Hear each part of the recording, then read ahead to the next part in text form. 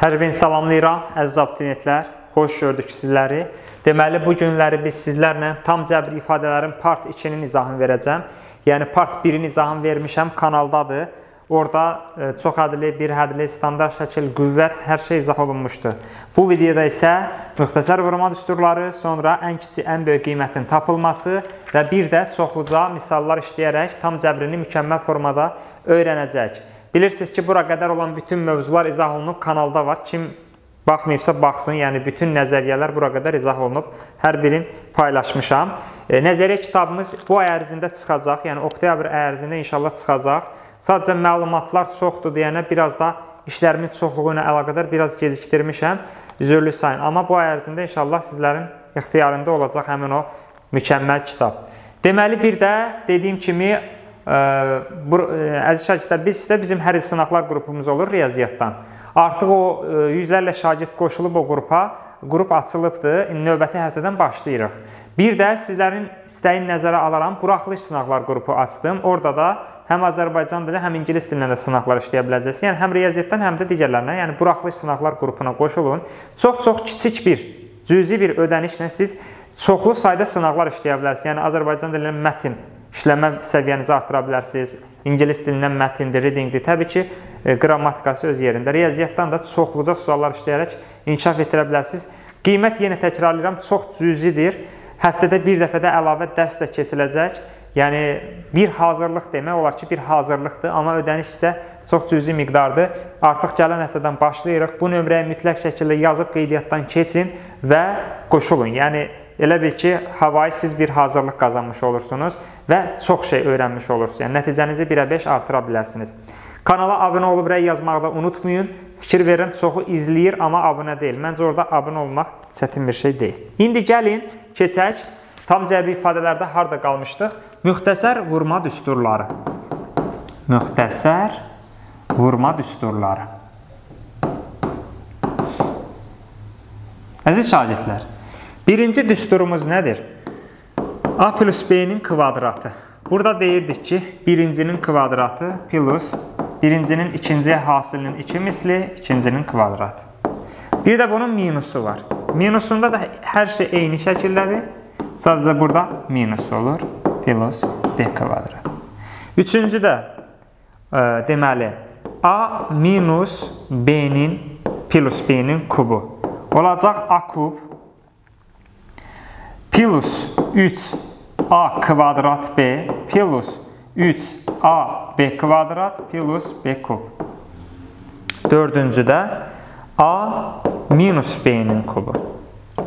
Bu olacaq a kub minus 3a kvadrat b plus 3ab kvadrat plus b kub. Plus yox, minus b kub. Bu şəkildə. A minus B-nin kubu. Sonra 5-ci 5-ci A kub plus B kub. Bu dəfə isə olacaq A plus B-nin kubu yox, A plus B vurulsun A kvadrat minus AB plus B kvadrat. 6-cı A kub minus B-nin kubu. Burada isə A minus B A kvadrat plus AB plus b kvadrat. Nəhayət 7-ci ən sadəsi a kvadrat çıx b kvadrat. Bu açıq b, a plus b. Bu düsturları siz gərək əzbər biləsiniz. Yəni 7 dənə köməkçi 7 e, dənə müxtəsər vurma düsturudur. Bunları siz bilməsiniz çünki bizə bu vuruqları ayırmada da lazım olacaq. Ümumiyyətlə misallarda çox lazım olacaq. Bunları siz əzbər bilməlisiniz. Bunlar deməli müxtəsər var. İndi bir də Bunun köməkçi müxtəsər vurma düsturu var. Bunun köməkçisi var. İndi biz burada köməkçilərini də yazacağam. Yəni həmin o köməkçi müxtəsər vurma düsturlarını da burada yazacağam. Siz görəcəksiniz. Sonra da misallarla sizə bunların harda bizim işimizə yaradığını göstərəcəm əziz şagirdlər. Bir dəqiqə. Aha. İndi isə köməkçi müxtəsər vurma düsturlarını gəlin yazaq. Köməkçi müxtəsər vurma düsturları. Köməkçi. Deməli, aha. Birincisi, A kvadrat plus B kvadrat. Bunu iki cür yazmaq olur. A plus B-nin kvadratı çıx 2AB. İkinci halda bunu belə yazmaq olur. A kvadrat plus B kvadratı A minus B-nin kvadratı plus 2AB. Bax, fikir verin. Deməli, bu A kvadrat plus B kvadratı iki halda yazmaq oldu. A plus B-nin kvadratı çıx 2AB, A minus B-nin kvadratı plus 2AB. Əslində elə bunlar da həmin o bayaq yazdıqlarımdan çıxır da. Çünki burada A plus B-nin kvadratını açanda A kvadrat, B kvadrat, bir də 2AB əmələ gəlir. O 2AB-ni ona görə çıxıram ki, yerdə A kvadratdan B kvadrat qalsın. Eyni şeydir. Bir də A kub plus B kubun. Bunu da belə yaza bilərsiniz. A plus B-nin kubu çıx 3AB A plus B. Bu da bu düsturla da qısa konkret yazmaq olur. Və nəhayət A kub plus B kubu yazmaq olur. A minus B-nin kubu plus 3AB A minus B. Bax, bu şəkildə bunları yazmaq olur. Yəni, bunları da bilməyiniz vacibdir.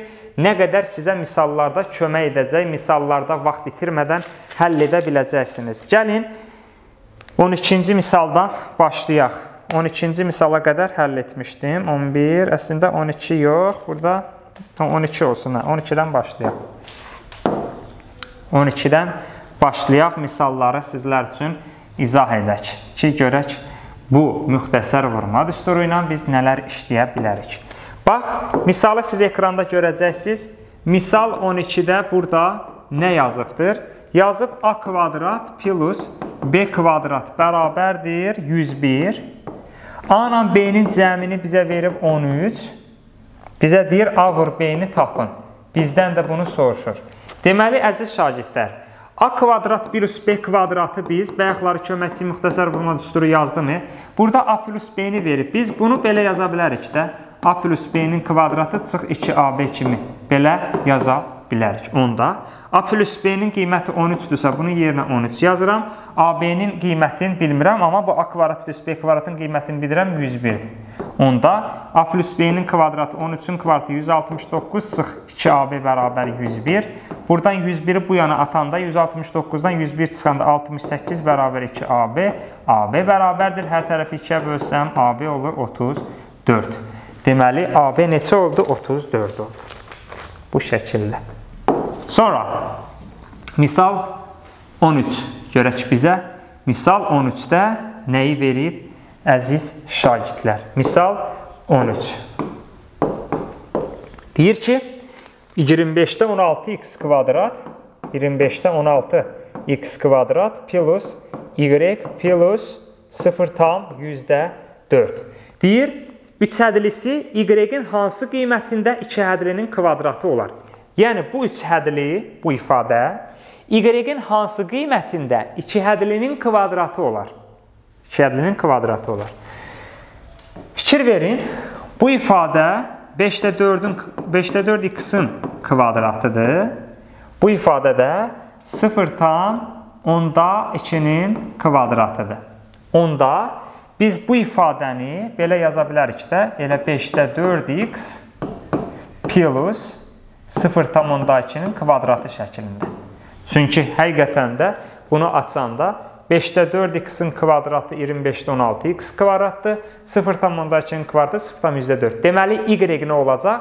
Bunların bir-birinə hasilinin 2 misli də bizə y-i verəcək. Onda bunların bir-birinə hasili 5-də 4x vurulsun 0,2 ilə 10-2 deməkdir. Bir də bunların 2 misli. Onda nə baş verdi? Onu 2-ə 5, bu 2 ilə gedir. 5 5-in 25-də 4 2-nin 8x oldu 25-də 8x. Yəni y-imiz oldu 25-də 8x. Bu şəkildə görə bilərsiniz. Sonra belə bir sadələşmə misalı var. 14-cü misala baxaq. Sadələşdirməyə baxaq, sonra keçəcəyik. Ən böyük və ən kiçik qiymətin tapılması o da çox önəmlidir. Geniş izahım verəcəm ki, heç bir problem qalmasın. Misal 14-də yazıb ki, 7-də 3x vurulsun, çıxılsın 14y kvadrat. Bizə də yazıb 7-də 3x plus 14y kvadrat. Deməli, gözəl şagirdlər, bu bizə nəyi bildirir? Bax, A çıx B-ni A plus B-yə vuranda, bax, ümumiyyətlə bu şeyi çox yaxşı yadda saxlayın. Fikir verin, A çıx B A plus B nə deməkdir? A kvadrat çıx B kvadrat deməkdir. Yəni, eyni ədədlərin fərqi, eyni ədədlərin cəminə vuranda, həmin ədədlərin birincisinin kvadratından ikincisinin kvadratı çıxılır. Burada da eyni ədədlərin fərqini eyni ədədlərin cəminə vur. Deməli, birincinin kvadratından ikincinin kvadratını çıxmalıyıq. Birincinin kvadratı 7-də 3-ün kvadratı 49-da 9x kvadratdır. Çıxılsın ikincinin kvadratı 14y-in kvadratı eləyəcək 14-ün kvadratı 196 y üstü 4. Su. Bunları vuranda bu şəkilə gəlmiş oldu. Misal 15-də də bizə görə ki, nə verib burada? Misal 15-də də bizə yazıb ki, burada Misal 15-də də bizə yazıb ki, burada m plus n kök 10. m plus n bərabərdir kök 10. m vurulsun n də bərabərdir 2. Bizə deyir ki, m bölünsün n plus n bölünsün m bunu tapın. Deməli, misal belədir m plus n-i verib kök 10-dur. m vur n-i də 2 verib. Bizdən bunu soruşur. Bunu tapmaqdan ötürü buna ortaq məxrəc tapmalısan. M-ni n-ə böləndə m qalır, m-i m-ə vuranda m kvadrat. m-ni m-ə böləndə n qalır, n-ə vuranda n kvadrat. Bəs bu iki ifadənin kvadratlar cəmini biz m plus n-in kvadratı minus 2m-i yaza bilərikmi? Bəli, yaza bilərik. Onda nə baş verəcək? Deməli, m plus n-in qiyməti kök 10-dur. Kök 10-un kvadratı 10 eləyir. 2-ni də m-ə vuranda 2-ə vuranda 4 eləyir. Bölünsün m-in də 2-dir. Onda 6 bölünsün 2, o da bərabərdir 3. Deməli, nə oldu? 3 oldu. Qutardı, getdi. Oldu 3. Bizdən də bunu soruşurdu. İndi isə keçirik ən önəmli məqam, ən böyük, ən kiçik qiymətin tapılması. Ən böyük, ən kiçik qiyməti tapılmaz. Əbıqı, əkiqı. Yadda saxlayın ki, əbıqı ən böyük qiymət, əkiqı ən kiçik qiymət deməkdir. Uşaqlar, birincisi biz bunu bilməkdən ötürü nələri bilməliyik? Kvadratik üçədlini. Deməli, ax kvadrat plus bx plus c şəklində olan ifadəyə kvadratik üçhədli deyilir. Yəni 3 dənə həddi var, 3 hədlidir və kvadratikdir. Çünki ən böyük dərəcəsi 2-dirsə, deməli bu kvadratikdir. Burada a sıfırdan fərqlidir. Yəni çünki a sıfır olsa, bu artıq kvadratik yox, xətti ifadə olur. Kvadratik olmur. Ona görə a sıfırdan fərqlidir. Burada A birinci həddi, birinci əmsal, birinci hədd demək olar. Çünki baş əmsal, buna baş əmsal da demək olur. Yəni ən böyük ə, e, dərəcənin əmsalı. Bu B ikinci həddi, ikinci əmsal. C isə sərbəst həddir. C sərbəst həddir. Deməli biz bu ifadə oldu necə? Kvadratik üçhədli oldu. Yəni bu ifadə oldu kvadratik üçhədli. Biz bunu inşallah funksiyalar dərsində daha da geniş keçəcəyik. Yəni e, burada öyrənəcəyik kvadrat e, deməli e, funksiyaları daha geniş keçəcəyik. Deməli, bu kvadratik üçhədlini e, bu cür yazmaq olur. Yəni, bu ax kvadrat plus bx plus c. Bunu belə də yazmaq olur. a vurulsun x minus m-in kvadratı plus n şəklində. Yəni, bu ifadəni bu şəklində hamısını deyəcəm sizə, səbirli olun.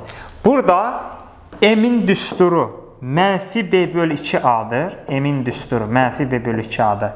N-in düsturu isə 4AC minus B kvadrat böl 4A-dır.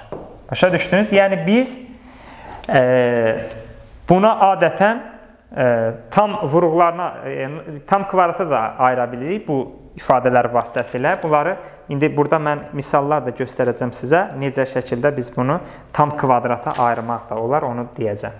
Yəni MN nöqtəsi birazdan danışacağam ki, ən kiçik, ən böyük qiymət sayılır. İndi orada hansı hallarda ən kiçik, hansı hallarda ən böyükdür, onu izah edəcəm. Sadəcə bilməyinizi istəyirəm ki, əgər belə bir kvadratik üçədli verilibsə, siz burada m-in düsturunu, n-in düsturunu yazaraq o kvadratik üçədlini bu şəkildə tam kvadrata ayıra bilərsiniz rahatlıqla. Ona görə bu düsturlar vacib şəkildə bilinməlidir. Çox yerdə istifadə olunur. m bərabər mənfi b böl 2a-dır. n də bərabər 4ac minus b kvadrat böl 4a-dır. Yəni bu çox önəmlidir. Ona görə bu kvadratik üçədlini mütləq şəkildə yaddan çıxartmayın. İndi isə gələk bu kvadratik üçədli nə vaxt ən böyük qiymətini alır, nə vaxt ən kiçik qiymətini alır, onlar haqqında danışaq. Burada yəni onsuz da ardıcıllığın qeyd eləmişəm. Deməli ax kvadrat plus bx plus c ifadəsi uşaqlar. Əgər baş əmsal sıfırdan böyük olsa, onda bunun ən kiçik qiyməti olur. Yəni A böyük 0 olarsa, ən kiçik qiymət var, əkiqi var. Başa düşdünüz? Yəni, əgər x kvadratın əmsalı müsbət olarsa, deməli bu ifadənin ən kiçik qiyməti var. Və bu düsturla tapılır. n bərabərdir 4ac minus b kvadrat böl 4a. Bax, bu düsturla tapılır həmin o ən kiçik qiymət. Əgər a sıfırdan böyük olsa. Qrafikdə belədir. Deməli, indi bunu funksiyalarda daha geniş biləcəksiniz ki, bu kvadratik üçhədlinin qrafiki paraboladır və o parabola e, bu şəkildədir məsələn. Bu şəkildədir. Və burada görürsüz A sıfırdan böyük olanda ümumiyyətlə x kvadratın əmsalı sıfırdan böyük olanda qollar yuxarı olur. Belə yuxarı baxır. Ona görə bax bunun ən kiçik qiyməti bax ən kiçik qiyməti burada yazılır n y oxunur, m isə x-in üzərində bildirilir. Yəni burada ən kiçik qiymət n-dir. Görürsüz, bundan da kiçiyi yoxdur. Qrafiklə daha yaxşı görsənir ki, bax bundan da kiçiyi yoxdur, amma ən böyüyü bunun yoxdur. Ən böyüyü nə qədər uzun gedir, amma ən kiçiyi bu n-dir. Yəni y-i bildirir, bu da m-dir. Bu m gələcəkdə öyrənəcəyik, həm də simmetriya oxu adlanır m. E, bu şəkildə. Yəni burada çox incə məqam var. Deməli burada n ən kiçik qiyməti bildirir. M isə ən kiçik qiyməti hansı nöqtədə alır onu bildirir. Birazdan daha geniş danışacağam. Deməli n nəyi bildirdi? n ən kiçik qiymətin özünü bildirdi. M isə M isə ən kiçik qiyməti harda alır, hansı nöqtədə alır onu bildirir. Birazdan misallarla daha geniş baxacağıq. Bəs yaxşı, A sıfırdan böyük olanda Dedik ki, bunun ən kiçik qiyməti var. Bəs A sıfırdan kiçik olanda nə baş verir? A sıfırdan kiçik olarsa, ən böyük qiymət olur. Bu dəfə də ən böyük qiymət olur. Yenə həmin düsturla tapılır. N bərabər 4AC minus B kvadrat böl 4A düsturu ilə tabi. Yenə eyni düsturla tabi. Yəni düstur dəyişmir. Yəni sadəcə olaraq sıfırdan böyük olanda bu həmin düsturla tapdığın n ən kiçik olur. Sıfırdan kiçik olanda isə həmin düsturla tapdığın n ən böyük olur. Burada isə qrafik belədir. Əgər mənfidirsə, yəni x kvadratın əmsalı mənfidirsə, bu a. Onda qollar aşağı olacaq. Parabolanın qolları aşağı. Və fikir verin, bu dəfə bu n-imiz görürsünüz ən böyükdür. Baxın, ən böyükdür. Yəni burada bundan da böyüyü yoxdur. Aşağısı gedir nə qədər istəyirsən, amma bundan yuxarısı yoxdur. Ona görə n ən böyükdür, n bölü. Bu şəkildə, yəni qrafikində göstərdim bu şəkildə. Yəni qısa konkret bilməlisiniz ki, sıfırdan, yəni x kvadratın əmsalı müsbətdirsə, ən kiçik qiymət var. Bu düsturla tapılır. Sıfırdan kiçikdirsə, yəni x kvadratın əmsalı mənfidirsə, bu ən böyük qiymət var deməkdir və bu düsturla tapılır. Bəs ən kiçik və ən böyük qiyməti hansı qiymətində alır? M qiymətini. Yəni ən kiçik və ən böyük qiyməti M nöqtəsində alır. M-in də düsturu mənfi B böl 2A-dır. Yəni, bizdən misalda verəcək. İndi misalı göstərəcəm. Misalda desə ki, ən kiçik qiyməti tapın və yaxud da ən böyük qiyməti tapın. Orada tapın sözünü işlətsə, bununla tapırsınız. Yəni, ən kiçik, ən böyük qiyməti bu n düsturu ilə tapır. Yox, misalda belə soruşa bilər. Ən kiçik qiyməti x-in hansı qiymətində alır? Görürsünüz, burada tapın demir. Deyir ki, ən böyük qiyməti və yaxud da ən kiçik qiyməti x-in hansı qiymətində alır? Onda bu düsturla tapacaqsınız. Yəni x-in hansı qiymətində alır və yaxud da a-nın hansı qiymətində alır deyəndə bu söz. Yəni orada hansı qiymətində alır sözü varsa bu düsturla, amma tapın sözü işlətsə bu düsturla tapılır. İndi misallarla da onu daha yaxşı başa düşəcəyik. Gəlin baxaq. Məsələn, misal 16. Misal 16. Görək burada misal 16-da bizdən nəyi soruşur, nəyi deyir. Misal 16. Deyir ki, mənfi x kvadrat plus 5x plus 1. Deyir, ifadəsinin ən böyük qiymətini tapın. Onsuz da burada ən kiçik qiymət yoxdur. Niyə görə? x kvadratın əmsalı nədir? Mənfidir. Yəni, burada buna, e, bu formatı yadda saxlamaq lazımdır da. x kvadratın əmsalı bizim a-mızdır. Deməli, a mənfi 1-dir. X-in əmsalı bizim b-mizdir. b deməli 5-dir. Sərbəst həddə c-dir 1-dir. İndi burada x kvadratın əmsalı mənfi olduğuna görə deməli burada qollar aşağıdır. Yəni bu ifadənin ən böyüsü var, ən kiçiyi yoxdur. Ən böyük qiyməti də bu düsturda tapırdıq da 4ac minus b kvadrat böl 4a. Gətirib hamısını yerinə yazırsınız. 4-ü a-ya vurub c-yə vuranda oldu mənfi 4 çıx b-nin kvadratı böl 4a.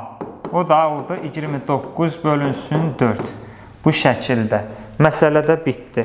Yəni 7,25. Yəni gördüyünüz kimi bizə misalda belə sual vermişdi ki, ən böyük qiymətini tapın. O tapın sözü işlətdiyinə görə bu en düsturundan istifadə elədin. Hə indi birdən bu misal verib bizə, bu misalı verib bizə deyir ki, ən böyük qiymətini x-in hansı qiymətində alır? Onda necə tapacaqdınız? Yəni cümləyə fikir verin. Bizə deyir ki, bu ifadə ən böyük qiymətini x-in hansı qiymətində alır? Görürsüz, tapın demədi. Hansı qiymətində alır? Hansı qiymətində alır deyəndə bu düsturla tapırsınız. Gətirib bu düsturda mənfi b-nin yerinə qoyuram 5, a-nın yerinə də qoyanda mənfi 1 oldu 2,5. Deməli, e, x-in 2,5 qiymətində bu ifadə ən böyük qiymətini almış olur. Bu da getdi. Baxaq növbəti misala. Yəni bunlardan sonra artıq sizin heç bir probleminiz qalmayacaq. Deməli, ən kiçik, ən böyük qiymət hamısını bir-bir izah edəcəm sizə. Bax, burada məsələn misal 17-də belə yazıb x kvadrat plus 8x plus 23. Burada verib ki, bizə kvadrat çıx 28. Deyir ki, ifadəsinin ən kiçik qiymətini tapın. Yenə də orada tapın sözünü işlətdi. Deməli, əziz şagirdlər, burada biz kvadrat üçədili buradadır. Bu ifadənin ən kiçik qiymətini tapacam.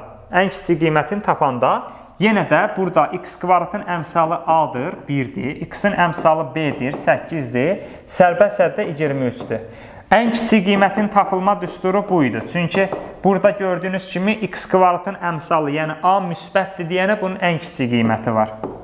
Gətirib yerinə yazanda 4-ü a-ya vurub c-yə vuranda 4-ü 1-ə vururam, 23-ə vururam, 92 çıx. b-nin kvadratı 64 bölünsün 4, 1-in 4. Bu da eləyir 92-dən 64 çıxanda 12-dən 4, 8 e, deməli.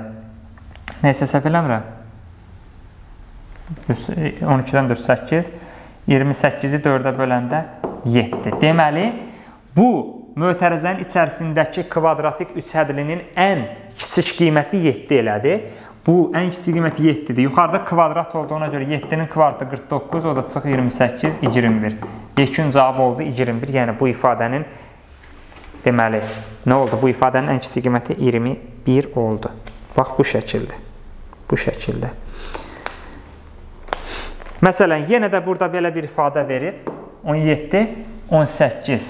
Sual belədir. 18-də sual belədir. Bizə deyir ki, e, x kvadrat minus 14x plus 23. Burada deyir ki, misal belə deyir. İfadəsin ən kiçik qiymətini x-in hansı qiymətində alır? Bu ifadə ən kiçik qiymətini x-in hansı qiymətində alır? Fikir verirsiniz, tapın demir bizə. Tapın desəydi, bu en düsturu ilə tapacaqdım. Tapın demir. Deyir ki, x-in hansı qiymətində alır. Orada hansı qiymət sözü və alır sözünə görə m, yəni bu düsturla tapılır. Burada da x kvadratın əmsalı 1 olduğuna görə a-sı 1-dir. X-in əmsalı mənfi 14-dür. b mənfi 14, sərbəst səddə 23-dür. Gətirib burada yerinə yazanda mənfi, B-nin yerinə mənfi 14 böl A-nın yerinə 2002, o da elə 7. Yəni, 7, x-in 7 qiymətində alır. Bu şəkildə məsələ bitmiş oldu. Sonra, bax, burada fərqli tip, məsələn, ən kiçik, ən böyük qiymətin tapılmasının fərqli tipləri var. Onu izah edəcəm. Məsələn, 19-cu sualda yazıb 9x kvadrat plus y kvadrat minus 6x minus 2y plus 19. Bizə deyir ki, ifadəsinin ən kiçik qiymətini tapın. Belə deyək də, bu illəri buna bənzər sual deyəsən düşmüşdü imtahanda. Buraxılış diabulokda düşmüşdü. Biz bu ifadənin ən kiçik qiymətini tapmaq üçün birini biraz sadələşdirməliyik. Burada kvadratlara ayıracağıq. Diqqətlə qulaq asın. 9x kvadrat var burada. 6x da var burada. İndi bunun üstünə neçə gələndə bu ifadə nəyin kvadratı edər? Fikir verin, 9x kvadrat 3x-in kvadratıdır. Bəs burada da 6x var. Bunu neçəyə vuranda 6x eləyir? Bunu 1, 1, 1 yazmalıyam. Bax, bu ifa belə. Deməli, bura plus 1 yazmalıyam. Başa düşdünüz? Yəni, plus 1 yazmalıyam bura. Çünki niyə görə? Plus 1 yazanda 9x kvadrat 3x-in kvadratıdır. Bu 1 də 1-in kvadratıdır. Bu 6x də bunların bir-birinə hasilinin 2 mislidir. Yəni mən 9x kvadrat və mənfi 6x var idi. Bunu yanına da 1 yazdım. Onda bu ifadə oldu 3x minus 1-in kvadratı. Sonra burada y kvadrat minus 2y var. Bax, bunun da yanına bir dənə 1 yazıram. Bunun da yanına bir dənə 1 yazanda bu ifadə nə olur? Bu ifadə olur bizə y minus 1-in kvadratı. Deməli, burada nə baş verdi? Plus 19 öz yerindədir. Mən burada özümdən 1 və 1, yəni 2 əlavə eləmişəm. Əlavə elədiyimi mütləq çıxmalıyam. Yəni, nə isə əlavə edirsənsə, çıxmalısan. 1 ilə 1-i əlavə eləmişdim, çıxdım. Və 19-dan 2 çıxanda 17. Yəni, bu ifadə artıq sadələşdi bu şəkildə. Bizə deyir, bunun ən kiçik qiymətini tapın. Kvadratın ən kiçik qiyməti 0 olur. Bəli, bu ifadənin ən kiçik qiyməti, çünki kvadrat həmişə müsbət olur deyənə, burada ən kiçik qiymət 0-dır. X-a məsələn 3-də 1 beləndə bu ifadə mötərəzənin içərisində 0 ola bilir. Burada da y-ə 1 versək, ən kiçik qiymət 0-dır. Deməli, yerdə qaldı 17. Onda bu ifadənin ən kiçik qiyməti nə oldu? Ən kiçik qiyməti oldu 17. Yəni, gördünüz ki, bu şəkildə veribsə, bunu elə eləyin ki, müxtəsəri yaxşı bilməlisiniz ki, burada kvadratlara ayırıb bunu həll edəsiniz. Məsələ bitdi bu şəkildə. Sonra misal 20. 20. Birazdan indi başqa tiplərdə həll edəcəm. Burada misal 20-yə baxaq. Yazıb ki, 2x plus y-in kvadratı plus 8 vurulsun 2x plus y plus 18. Bizə burada deyir ki, ifadənin ən kiçik qiymətini tapın. Baxın, burada da 2x plus y-dir, burada da 2x plus y-dir. Onda 2x plus y-ə 1 t deyək, olacaq t kvadrat plus 8t plus 18. İndi biz rahatlıqla bu ifadənin ən kiçik qiymətini tapa bilərik. Bunun da ən kiçik qiyməti 4ac minus b kvadrat böl 4a ilə. Düzdür, bunu tam kvadratına ayırıb da tapmaq olar. Yəni, düstursuz tam kvadratına ayırıb da tapa bilərsiniz. Yəni, tam kvadratına necə ayırıb tapmaq olur? Fikir verin. Bu ifadəni t kvadrat plus 8t, bu 18-i belə yazıram mən.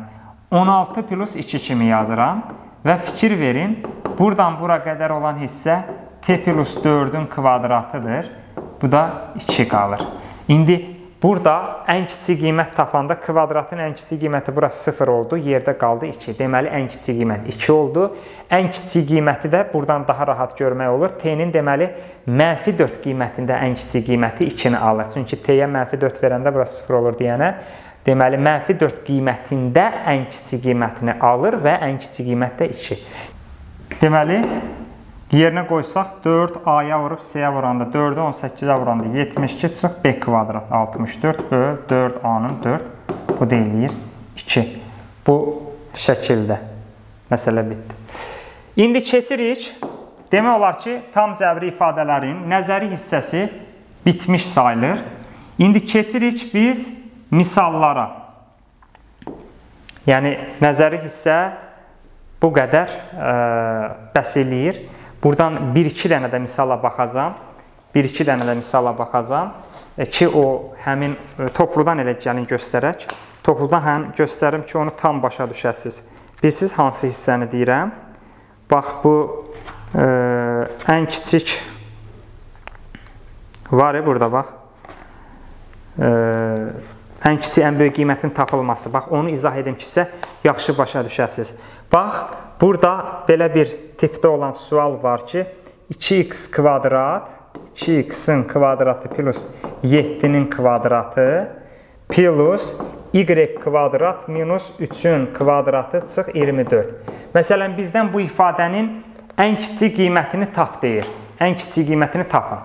İndi mən sizə belə bir şey edəcəm. Bax, burada 2x kvadrat var, y kvadrat var. Əgər bunlar kvadratsız olsaydı, yəni bunlar kvadratsız olsaydı belə.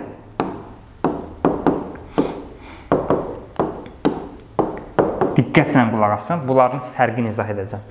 Bax, burada yuxarıdakı kvadratla demirəm, ha, yuxarıdakı kvadrat öz yerində. Bu mötərəzənin içərisinə fikir versəz, mötərəzənin içərisindəki x-in kvadratı var, burada yoxdur, burada y-in kvadratı. Bunların fərqi var. Deməli biz normalda demişik ki, kvadrat, yəni nə isə kvadratı həmişə müsbət olduğuna görə həmin ifadənin qiyməti, ən kiçik qiyməti 0-dır demişik. Və bunu hamısını sıfıra aparmışıq. Amma burada elə eləyə bilməzsən, hamısını sıfıra apara bilməzsən. Sən birinci baxmalısan, gəl gör o mötərəzənin içərisi sıfıra gedə bilirmi, yoxsa gedə bilmirmi? Burada məsələn mötərəzənin içərisi sıfıra gedə bilir. Çünki 2x plus 7-ni sıfıra rahatlıqla bərabər etmək olur. Və buradan 2x bərabər mənfi 7, x-i tapanda mənfi 7 bölü 2 heç bir problem yoxdur. Ona görə bu bütövlükdə sıfıra gedə bilər. Bu da y-ə məsələn 3 versin, sıfıra gedə bilər. Kvadrat ən kiçik qiymət sıfırdır. Yerdə qalır mənfi 24. Yəni bu misalda bu ifadənin ən kiçik qiyməti oldu mənfi 24. Amma, amma bu misalda isə sən bütövlükdə bu hamısına 0 deyə bilməzsən. Niyə görə? Çünki mötərəzənin içərisi sıfıra gedə bilmir. Çünki mötərəzədə cüt dərəcə var və plus var. Yəni sən 2x kvadrat plus 7-ni sıfıra bərabər etsən, onda 2x kvadrat bərabər mənfi 7 və x kvadrat bərabər oldu mənfi 7 bölü 2. Axı cüt dərəcə həmişə müsbətdir, mənfət də bərabər ola bilməz. Yəni mötərəzənin içərisi sıfıra gedə bilmir. Sən burada içəridəki cüt dərəcəni sıfıra bərabər edirsən. Ona görə burada 7 qaldı. 7-nin kvadratı 49 olur. Burada isə bütövlükdə sıfıra gedir. Deyə bilərsiniz ki, müəllim, burada da kvadrat var. Nətər oldu bütövlükdə sıfıra getdi? Çünki burada y kvadrat minus 3-ü sıfıra bərabər edəndə bir problem yoxdur. Çünki y kvadrat müsbətə də bərabər. Yəni burada y e, kvadrat mənfiyə bərabər oldu deyənə, mötərizənin hissəsi sıfıra gedə bilmir deyənə mən içəridəki x kvadratı sıfır götürdüm. Amma bu mötərizənin bütövlükdə sıfıra gedə bilir. Yəni y-in yerinə kök 3 qoysam sıfıra gedə bilir. Ona görə burada biz ümumi ifadəni sıfır götürürük. Onda nə baş verdi? Oldu 47-nin kvadratı 49 çıx 24. Yəni bu ifadənin ən kiçik qiyməti 25-dir. Yəni orada bir diqqətli olun, görün e, bu mötərizənin içərisi sıfıra gedə bilir ya yox. Elə pramı görən kimi yuxarıda kvadrat görən kimi hamısını bir də sıfır eləyə bilməzsiniz. Məsələn bax burada e, indi birini də yazacağam birini də yazacağam, görəcəksiniz. Məsələn, topluda belə bir dənə də misal var. 2x üstü 4 plus 5 kvadrat plus 3y kvadrat plus 4-ün kubu plus 2z-in kvadratı minus 5-in kvadratı. Deməli, bizə deyir ki, ifadənin ən kiçik qiymətini tapın. Ən kiçik qiymətini tapın. Əziz şagirdlər, Bax, yadda saxlayın. Minus olanda rahatlıqla hamısına 0 deyə bilərsiniz. Minus da çox rahatdır. Çünki bu ifadəni 0-a bərabər edəndə z kvadrat müsbət edə də bərabər olur, problem yoxdur.